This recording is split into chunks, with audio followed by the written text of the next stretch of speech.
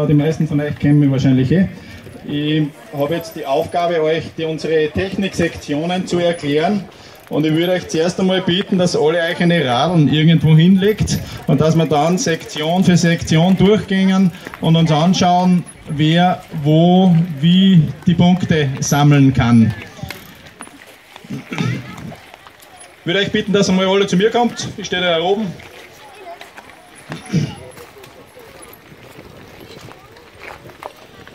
Es ist für uns ja das erste Mal, dass wir so einen Technikbewerb machen. Ja. Leider hat uns bis gestern Mittag Danke. das Wetter auch nicht ganz mitgespielt. Das heißt, wir haben einige ähm, Stationen dann überarbeiten müssen. Aber nichtsdestotrotz wird das Ganze schon relativ gut klappen. Wir werden das Ganze ja so machen, dass wir da hinten beim Speci Specialized Zelt, das ist halt rauskriegt, ähm, machen wir den Start. Das heißt, es gibt dann den Startaufruf nach den Startnummern mit der jeder U13 sollte nur eins sein, beginnen, dann die meistens U15 und die U17. Ihr stellt euch bitte alle da hinten auf. Wie gesagt, wir rufen euch dann auf. Da werden die Bikes dann gekennzeichnet nach Fahrradgröße 26 Zoll, 27,5 und 29 Zoll. Und wir werden dann in einem Abstand von einer Minute so circa, das müssen wir uns anschauen, wie es sich dann auf die Strecken ausgeht, werden wir dann ähm, die Startreihenfolge machen. Also bitte dann da hinten äh, sammeln. Wir fahren dann davor und haben da dann die erste Übung, das ist die Übung mit den Reifen zum drüberfahren. Gehen wir da rüber.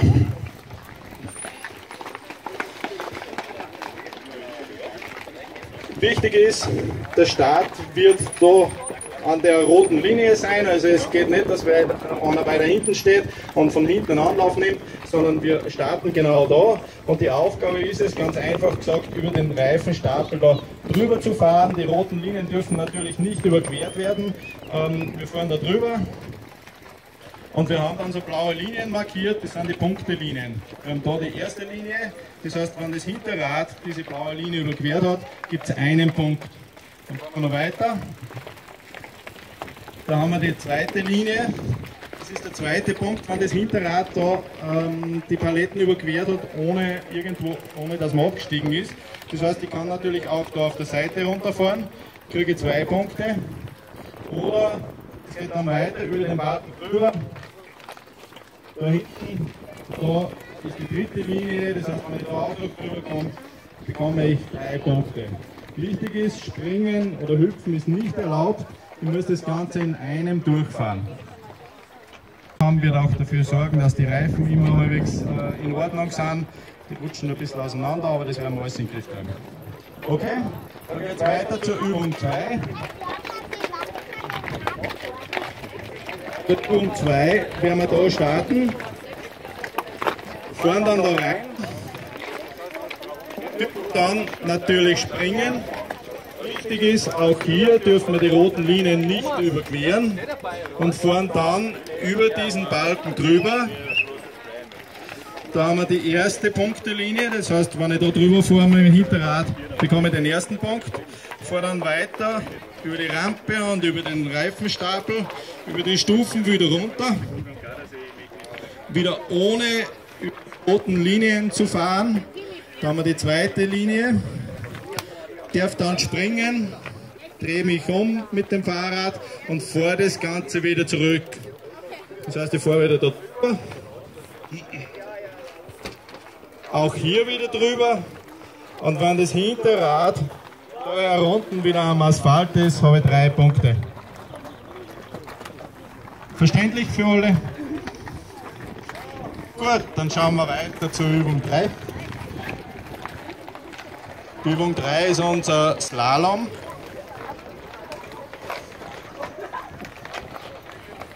Sollte eigentlich für jeden er- äh, selbsterklärend sein. Wir machen da einen Start, fahren da entsprechend durch. Springen ist im Slalom natürlich erlaubt. Wichtig ist, die Hütchen dürfen nicht berührt werden. Und die gelben Linien dürfen nicht überfahren werden. Das heißt, wir fahren da durch, ohne die Hütchen zu berühren. Das ist auch unser Streckenposten natürlich ganz genau, dass die immer gleich dort liegen. Wir haben dann da die erste blaue Linie zum Überfahren. Man darf natürlich da an dem Beton bzw. Eisen ankommen, das ist kein Fehler. Fahren da weiter, da runter fahren dann da über diese Palette drüber. Die darf man natürlich berühren. Man darf auch den Reifen berühren, den haben wir nur daher dann, damit da nichts passiert. Aber man darf sich nicht mit der Hand anhalten. Also wenn ich da irgendwo mit dem Fahrrad streife, mit dem Mountainbike ist kein Problem, aber so anhalten kommt nicht in Frage. Fahren wir da drüber. Und da haben wir die zweite Linie. Ja, und so geht es dann entsprechend weiter. Wir haben auch da herunten eine Linie, das heißt, die Kurve muss da auf der Steigung gemacht werden. Fahren da wieder weiter, wieder rauf und fahren dann da dazwischen über diese Stufe runter. Da haben wir auch noch ein Hütchen und da haben wir die dritte Punktelinie, das heißt, wenn man da unten rausfahrt, hat man drei Punkte. Wenn ich da drüber bin, die gelbe Linie, die ist dann egal. Okay? Sollte verständlich sein. Dann geht es weiter zur Übung 4. Das ist unser Flaschentransport. Da muss ich glaube ich nicht recht viel dazu sagen. Das sollte eigentlich jeder kennen. Der Hans markiert schon unsere Stationen. Wir haben zum einen die Flasche, die entsprechend aufgehoben gehört und dann auf dem Brett wieder abgestellt wird. Der Punkt zählt natürlich erst dann, wenn die Flasche da steht. Das heißt, wenn die umfällt, dann ist das kein Punkt. Dann fahren wir weiter zur nächsten Station. Da haben wir so eine kleine Dose. Die nehmen wir und stellen es auch wieder auf das Holz drauf. Und dann haben wir da auch noch was ganz was Kniffliges gefunden. Das nehmen wir auch und stellen auch da auf das Holz drauf. Und wie gesagt, erst wenn das Teil da steht am Holz, dann ist der Punkt erreicht. Wenn ich die erste Flasche umschmeiße, habe ich null Punkte. Ich kann mich darüber ärgern und kann einfach weiterfahren. Also man darf natürlich, wenn man die erste umschmeißt, die zweite nicht berühren oder die zweite äh, nicht mehr versuchen. Gibt es da Fragen dazu? Dann schauen wir weiter. Dann kommen wir da am Schotterbackplatz.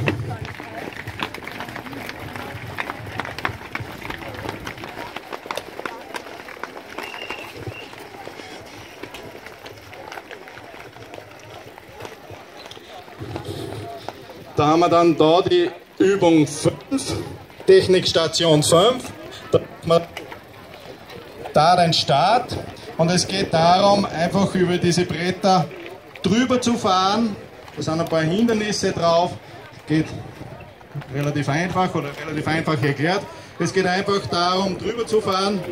Und wenn ich das Holzbrett in voller Länge mit beiden Rädern überfahren habe, bekomme ich einen Punkt. Dann darf ich da umdrehen. Das KTM-Band da darf nicht überfahren werden. Ich drehe um, darf natürlich hüpfen zum Einrichten und fahre dann wieder entsprechend drüber. Auf den Brettern ist das Springen verboten. Das heißt, Springen nur zum Einrichten. Dann fahren wir da drüber. Auch hier haben wir wieder eine KT. Drehen wieder um und fahren das dritte Brett wieder zurück. Wenn ich das dritte Brett mit beiden Rädern vollständig überfahren habe, dann bekomme ich drei Punkte. Man darf im Noswilli natürlich runterfahren. Wenn ich das Hinterrad dann hinter der blauen Linie aufsetze, dann ist das gültig.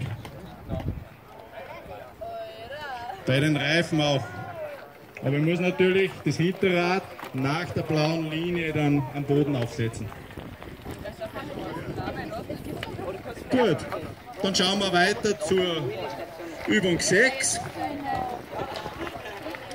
Das ist unser Sidestep. Wir machen da den Start,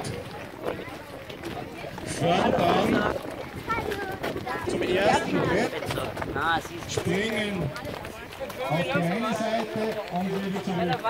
Ob ihr hier rüber anfangt oder da herüben, ist egal. Also ihr könnt rüber, rüber springen oder auch da rüber anfangen. Ihr dürft mit beiden Rädern gleichzeitig springen oder auch zuerst das Vorderrad, dann das Hinterrad oder zuerst das Hinterrad und dann das Vorderrad. Wichtig ist nur, ihr dürft das Holzbrett nicht berühren. wenn wir am ersten fertig sind, drehen um. Dürfen wir natürlich da wieder über das KTM Geh ein Tick zurück. fahren dann zum zweiten Brett und machen das gleiche wieder. Das einmal drüber springen, auf die andere Seite drüber springen. Auch da ist wieder egal, auf was für Seite ihr beginnt. Dann fahren wir wieder raus, drehen um, fahren zum dritten Brett und machen beim dritten Brett das gleiche dann nochmal. Einmal, zweimal. Natürlich beim Umdrehen springen. Sonst ist der Abstand vermutlich zu klein. Also ihr dürft, also ihr dürft natürlich auch beim Umdrehen springen. Bitte? Ja, dürft, dürft euch einrichten, so, fliegt euch ein und dann schlaucht euch hin und jetzt schaut es, springt drüber. Wichtig ist, wie gesagt, auf beide Seiten. Zuerst nach rechts, dann nach links, umgekehrt, ist egal. aber zweimal. Okay? Schauen wir zur Übung 7, Station 7.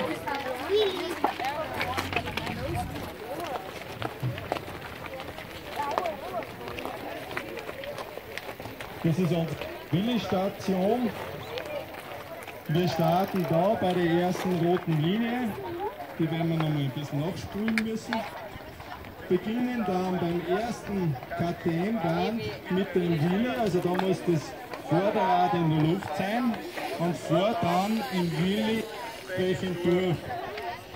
Wenn ich mit dem Hinterrad das erste Band überquert habe, bekomme ich einen Punkt. Also es zählt das Hinterrad. Es hilft nicht, wenn ein Willi bis daher macht und mit dem Vorderrad drüber fahre, zählt noch nicht als Punkt, sondern muss mit dem Hinterrad drüber fahren. Das ist ein Punkt, zwei Punkte, drei Punkte.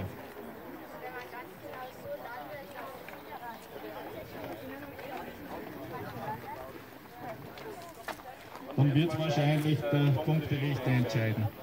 Grundsätzlich, wenn du am Band drauf bist, dann ist das ein Punkt. Wichtig ist, wie gesagt, dass das Hinterrad zählt. So, und dann geht uns noch eine Übung ab, das ist da drüben. Schauen wir kurz rüber. Das ist unser Handy.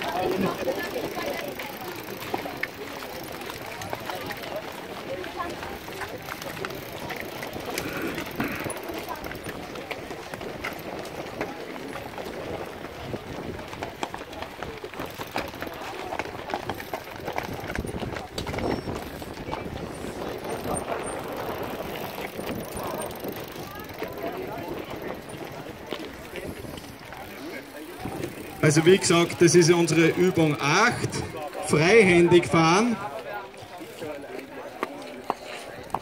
Wir machen da hinten den Start, wo ich jetzt stehe. Ihr dürft bis daher einen Schwung holen und ab dem Anfang der Bänder, da werden wir auch die Linie nochmal nachziehen, müsst ihr freihändig fahren. Fahrt freihändig durch. Wir haben da die erste blaue Linie für den ersten Punkt, haben da hinten dann die zweite blaue Linie für den zweiten Punkt und wer dann über die Palette und hinten raus auch noch durchkommt, ähm, bekommt drei Punkte. Wichtig ist, das Absperrband darf nicht berührt werden. Weder mit dem Vorderrad noch mit dem Hinterrad. Also es müssen beide Reifen innerhalb der Markierung sein. Da fährt freihändig entsprechend durch. Wie gesagt, ohne das Band zu berühren. Ja, damit seid ihr dann fertig. Ihr bekommt beim Specialized Zelt beim, am Anfang ein gelbes Blatt, ihr eure Punkte entsprechend aufschreibt, beziehungsweise die, die äh, Streckenposten an den Stationen schreiben da die Punkte rein. Das bekommt ihr bei jeder Station wieder mit und ihr dem nächsten ähm, Streckenposten bei der nächsten Übung. Das heißt, hier nach der achten Übung nehmt ihr dieses gelbe Blatt, das ihr bekommt, da stehen eure Punkte drinnen und gebt es hinten beim Specialized Zelt wieder ab.